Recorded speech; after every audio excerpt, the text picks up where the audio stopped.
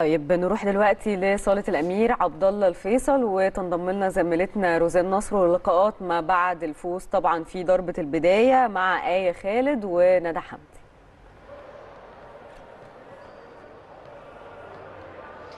برحب بيك يا مريم وبرحب بضيوفك الكرام نجوم الاستوديو التحليلي وبرحب أيضا بكل مشاهدينا مشاهدين قناة النادي الأهلي في كل مكان. ألف مبروك أكيد فوز النادي الأهلي النهارده على شباب بجايه الجزائري بنتيجة 3-0 في أولى مبارياته طبعا من هذه البطولة معايا واحدة من نجوم يعني طبعا طائرة سيدات آية خالد. برحب بيكي طبعا يا آية في البداية على شاشه قناة الأهلي. بداية قوية جدا طبعا ثلاث أشواط.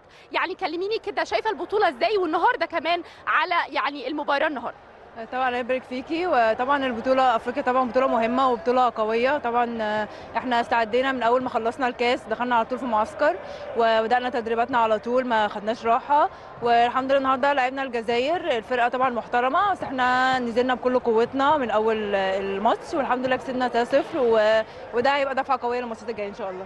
إيه كلميني أكتر عن طبعا أبرز تعليمات المدير الفني كابتن إبراهيم. إن إحنا ما نستهونش بأي فرقة هنلعبها. طبعا هنلاعب فرقة قوية وفرق مش قوية قوي فما نستهونش بأي فرقة. نلعب بكل قوتنا في أي ماتش في أي مع أي فرقة. وده اللي إحنا عملناه النهارده وده سهل لنا مكسب الحمد لله. كل التوفيق لكم طبعا في هذه البطولة وبشكرك يا شكرا نورتينا.